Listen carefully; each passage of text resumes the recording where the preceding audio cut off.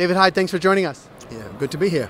Well, it's a really interesting time in the Canadian cannabis sector. Uh, C45 passed uh, yesterday uh, in the Senate. Um, what is your take on where the industry stands now versus where it was, say, six months ago?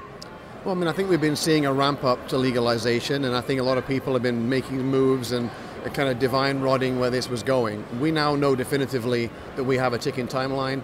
We know that these new regulations are coming in, and I think it really kind of solidifies the reality, which is people are moving quickly to try and find their, their, their path, their lane. I think a lot of some people have that lane. Some of the early early movers had the first territory, but they've learned from mistakes and they've had to retool and do things differently. The new folks coming in are, are pretty aggressive. They're very smart. They're very nimble. They've learned some of the mistakes the earlier guys did. So everyone's kind of jostling for position. There's lots of opportunity, and I think really it's just watching now how this all plays out. I expect to see a lot of new um, uh, licensed producers as we move towards the Cannabis Act. I expect to see uh, more extraction facilities, more distribution facilities, the ramp up to the provincial supply chains. Uh, I think we're going to be a little bit light on the shelves for the first few months, but we're moving towards, uh, I think, a very hot very um, active uh, period of the industry where it's going to be really jockeying for position in terms of the licensing positions and jockeying for position on the re- on the retail shelves, if you will. And, and how has that affected your business specifically? Right, you, you uh, working with uh, licensed producers for sure, but everywhere along that chain of, of, of supply, is David Hyde and his people. Yeah, like I mean, we've been lucky to kind of forge um, our own kind of unique position in the industry from getting in early and from kind of grabbing as much territory as we could, right, with applications, with LPs. So you know, we're working on a lot of applications like LP second sites, third sites, and beyond, licensed dealer applications, research and development. I think everything's on fire. I mean, we are getting lots of new applicants through the door. They're not always the same. I want to have this massive, great greenhouse and grow lots of cannabis.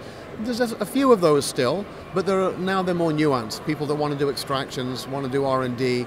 They want to. They're looking towards the edible market. I've got a lot of people we're talking to on the food side, the beverage side, the pharma side you know, um, uh, confectionery, all these areas that really want to know, okay, well, I, I need to plan now for licensing that will happen in 2019.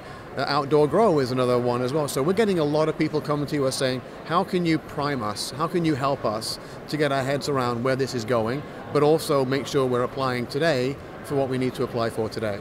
It's a pretty unique skill set that, that you've developed in that space in trying to, I guess, predict a bit of where the Health Canada regulations have been, have come to, and where they're going. Yeah, I mean, if anyone knows this process at all, the most predictable thing is Health Canada's unpredictability. And I say that with not, with, not with disrespect.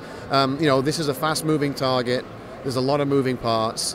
Um, Health Canada has had to ramp up and learn as a new regulator in the space over the last, it's only been four, four years, they've been regulating this marketplace, right? So we're all still learning.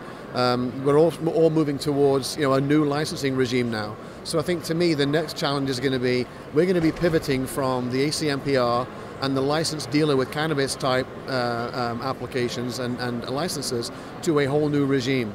The new regime is going to be an umbrella regime where all cannabis will slot under this one um, regulatory um, landscape that will have unique and discrete licenses, many of which can marry up and exist or cohabitate under the same umbrella. So um, a lot of people are not sure what's going to be in those regulations. So how do you prepare an application now, or how do you prepare a site now that will meet the regulations for today, but that will be smoothly grandfathered into the regulations for tomorrow? So the biggest challenge for us, and what I think we're trying to get better at every day, is really kind of divine rodding where this is going, knowing what we know now about where it is, looking at what we've been that what should be in the new regulations and trying to navigate for our clients how to get there, how to strategize on the licensing side, and how to lay out their security and safety programs so that we can kind of map into that rather than have to kind of arrive at this brick wall of the new Cannabis Act and say, oh, cripey, I, I didn't think about this, I didn't think about that. We're going to help them to navigate that transition.